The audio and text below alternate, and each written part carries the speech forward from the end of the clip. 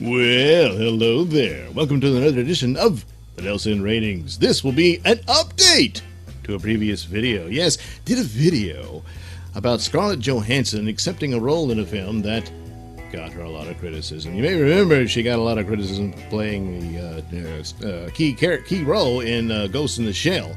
And a lot of people said it should have been an Asian actress, despite the fact that it was about an android and all that. Anyway, uh, yeah, covered all that in the last video.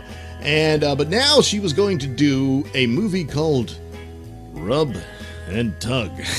it concerned the true life story of Dante Tex Gill, who ran a prostitution ring out of a massage parlor. Yes, yes. So she was going to play the role of Dante Tex Gill because you see, Dante was a woman who identified as a man, a trans man, as it were. Uh, well, there's the problem of course, people said, "Oh no, a real trans actor should play the role." They haven't. I don't know if anyone specified that it should be a woman who identifies as a man to play a woman who identifies as a man. I don't know if anyone wanted a trans woman to play a woman who identifies as a man. Oh boy. Uh, so maybe I don't. know. But then again, why not? You know, I mean, so I, I don't know. So, uh, and uh, initially, Scarlett Johansson uh, stood by her guns. She said, "Hey, you can talk to Jared Leto, Jeffrey Tambor, Felicity Huff." Uh, yeah, good point. Right on the mark there, Scarlett. Uh, I fully uh, endorsed her statement and still stand by it. Except, well, she buckled. Yeah, she said uh, as her statement. In light of recent ethical questions raised surrounding my casting as Dante Tex Gill, I've decided to respectfully withdraw my participation in the project. Yeah, well, when you're surrounded by that cult in her neck of the woods, you can imagine the pressure. Yeah, yeah.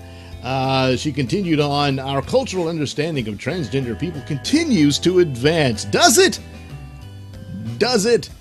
And I've learned a lot from the community since making my first statement about my casting and realized it was insensitive. No, no, it wasn't. It was true. So, in order to be noble now, you must lie. So, uh, I have great admiration and love for the trans community and am grateful that the conversation regarding inclusivity in Hollywood continues. Yeah. Uh, this movie's done. It's not going to happen. Uh, who's the bankable trans man uh, who can play this role? I, I, I know of none. Of course, they haven't been given the opportunity because Hollywood is so transphobic, is it? How big is the uh, the population of the trans community? You, uh, know, so uh, pretty. You're, you're already making it pretty difficult here. Besides, this is theater; none of it's real. Um, Scarlett Johansson is not an android. Uh, she's not a superhero. She's not uh, what was the other one? Uh, an assassin. Uh, she's not uh, uh, a, a, drug mule who receives a drug that gives her godlike powers. you know, I mean, it, it, she was playing people she's not. That's the whole point. Nobody should have been insulted by this. but now, for the power of pointing the finger and sending you to that principal's office. it's just a sick, sad, cult like attitude on this. Um, and uh, probably does more harm to trans people, you know, the real ones, uh, than not. And uh, there you go. Uh, so, uh, who knows? Might have been a good movie. The title is pretty hilarious, Rub and Tug.